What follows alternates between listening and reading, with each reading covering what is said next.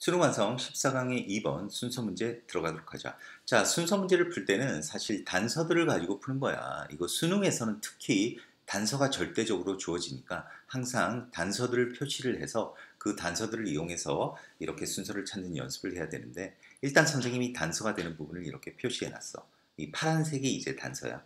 그러면 이렇게 그 주황색은 뭐냐 하면 이 글에 있어서의 어떤 핵심적인 내용이야. 근데 일단 순서 문제는 내용에 있어서 접근보다는 단서 위주로 찾는다는 거 그거 명심하면서 한번 내용을 살펴보도록 합시다. The growth of human brains, 인간 내의 성장은 may have been related, 어, 관련이 있었을지도 모릅니다. 그 증가하는 도구 사용과.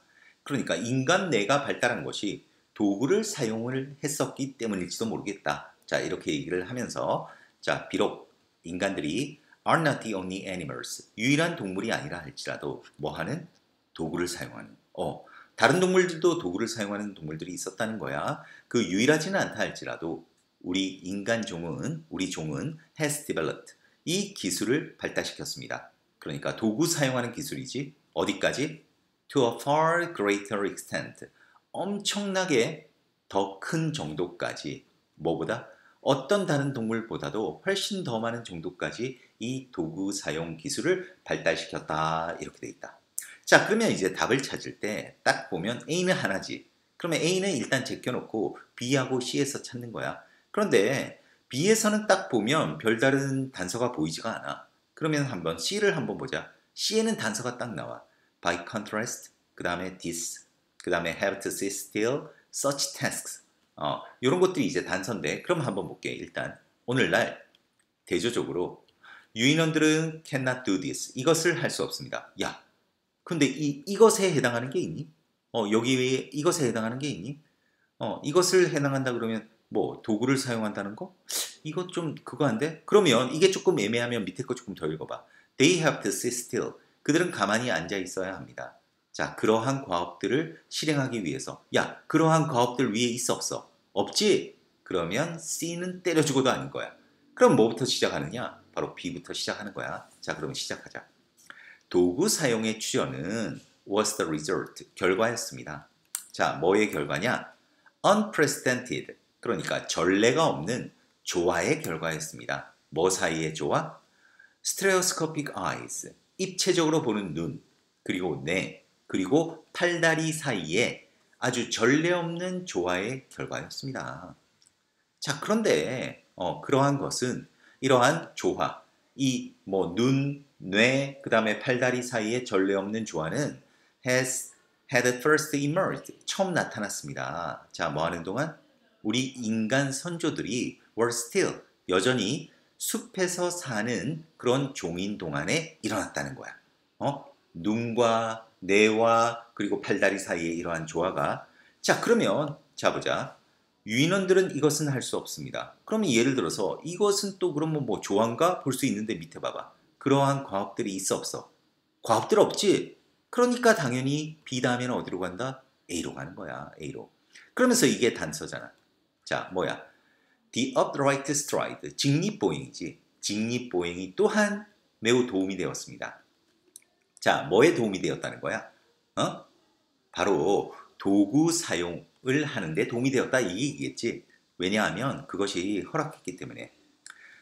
팔과 손이 to be used 사용되도록 훨씬 더 다양한 범위의 목적을 위해서 사용되도록 아 물론 비록 그것이 더 어렵게 되었다 할지라도 뭐가 이거는 가져오진 조야 swing around in tree 나무 사이를 팔을 가지고 휙휙 하면서 돌아다니는 것이 어렵게 되었다 할지라도 왜 원숭이처럼 나무 타기 하는 게 어렵게 되었다 할지라도 자 뭐다 어자그 직립보행이 팔과 손을 좀 자유롭게 만들었다는 거야. 그지? 그러니까 좀 더 도구 사용하는 데 도움이 되었다는 거지. 그 결과 인간들은 배웠습니다.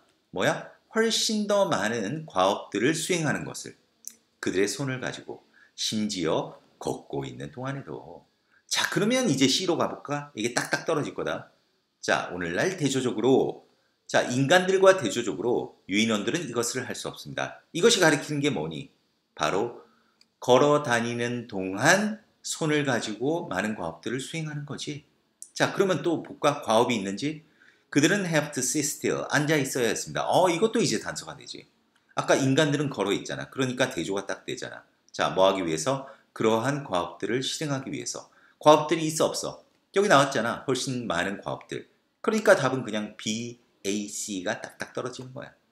자, 그래서 as a result of this development, 이러한 발달의 결과로서 초기 인간들이 서서히 더 강력하게 되었습니다.